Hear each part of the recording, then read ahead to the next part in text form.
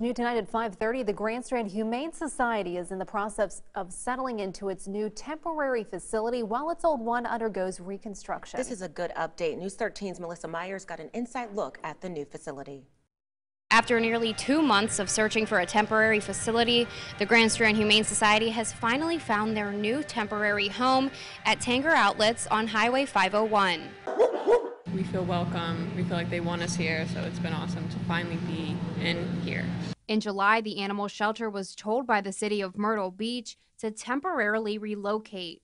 This due to a pest infestation and building repairs. There's a lot of like maybes, no's, and then finally one came through, so it was definitely an exhausting process. The new facility is located across from Carolina Pottery in Suite N210.